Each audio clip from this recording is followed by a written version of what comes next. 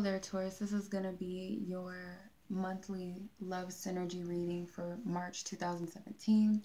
As you can see, I've already pre-shuffled the cards just to take away um, spinning or wasting too much time shuffling. So this is for Taurus's Sun, Moon, and Rising. And if you're not familiar with how this works, um, I look at the four elements which represent um, earth, air, fire, and water signs love interest for you this month. So this is a synergy between you and these signs. So first we're going to start with the synergy between you and a fellow earth sign such as Taurus, Capricorn, or Virgo. We have forgiving and learning with the Nine of Wands. So there's definitely, it's like a power struggle to um, it's like you're going through this process where you're needing to forgive yourself, I feel, because this is an obviously an earth sign energy. But not only that, I feel if this love interest or you had a past lover who was of an earth sign, you're still having to forgive them. Um, seeing seeing the I'm getting seeing the highest perspective or looking at it from a higher perspective, looking at this experience as a valuable lesson that you've had to learn with this person, whether you stay together or not, or even if you're not even together anymore. I feel like this earth sign, you're needing to revisit this person so you can heal anything that's still lingering. And it could be a very, um, or has been very trying because we have the nine and the nine of wands, which nine is of completions. It's also um, a humanitarian number um, could mean that it requires a lot of compassion, a lot of effort, non judgment, forgiveness. So, definitely, it's going to be difficult for you to forgive this person, but I feel like it's very important that you do. Like I said, whether this person is no longer in your life, if you're together with them or not, um, you, you need to learn from that experience and forgive yourself and forgive that person. For those of you dealing with a air sign, Gemini, Libra, or an Aquarius, you have worth waiting for with the Empress. So there's something that you've been creating uh, with this air sign person, and Spirit's kind of waiting on you to get on board. Um, it's kind of funny that this is coming up. The Empress card, to me, if I have to, um, like the appearance of a person, like if I had to use this as an example, I would say that this would be like the Beyonce of the tarot. I don't know why that's coming up. But it's like if you're whether you're male or female, um female Taurus, male or female Taurus, you have to see yourself as the diva or the king that you are, the queen or the king that you are, the empress or the emperor that you are, in order to receive what it is that you've been creating and trying to manifest with this individual because it's like maybe you're not seeing yourself in that highest light. Maybe you need to um, boost your own ego. Again, I'm hearing these Beyonce references like big ego and um, single ladies. It's like you gotta see yourself as the as the ish, you know, to actually go after what you want because it's like these angels they're waiting on you. It's like they're cold like we, you know, we're waiting on you to step into this when you're ready.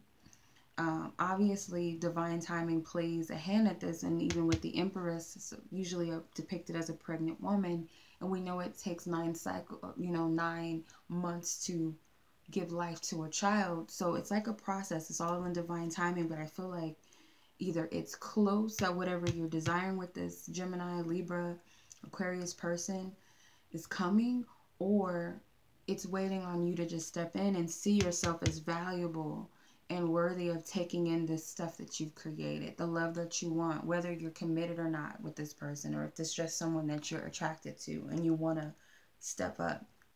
The time is now. So there's really no need for you to wait around and wait around anymore. It's like, don't try to keep the baby in the oven when it's ready to come out now.